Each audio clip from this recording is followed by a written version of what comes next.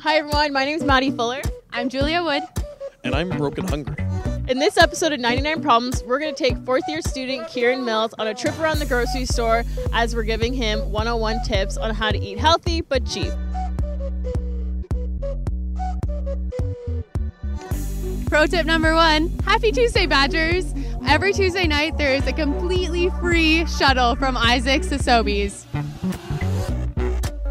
Tip number two get to know your local grocery store. A lot of grocery stores try to get rid of older products, so shopping towards the end of the week or the end of the day increases your chances on getting a great deal. Tip number three when you see a deal like buy two for five or buy two or more for $2.49, make sure you buy them in bulk because then you can just freeze a bag of bagels, for example, for later.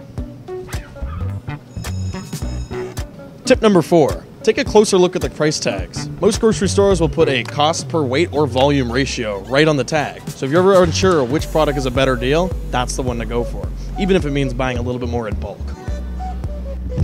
Tip number five price check.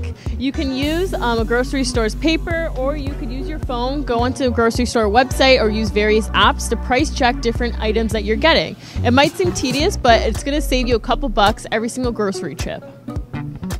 Tip number six check out your local grocery store to see if they have a student discount night. Sobeys is Tuesdays.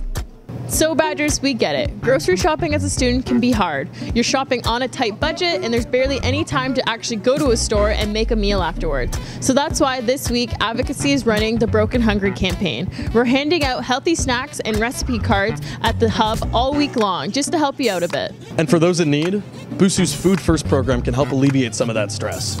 Up to three times a semester, students can request a package of non perishable goods, fresh produce, and hygiene items completely free of charge. For more information, visit brockbusu.ca. Thanks.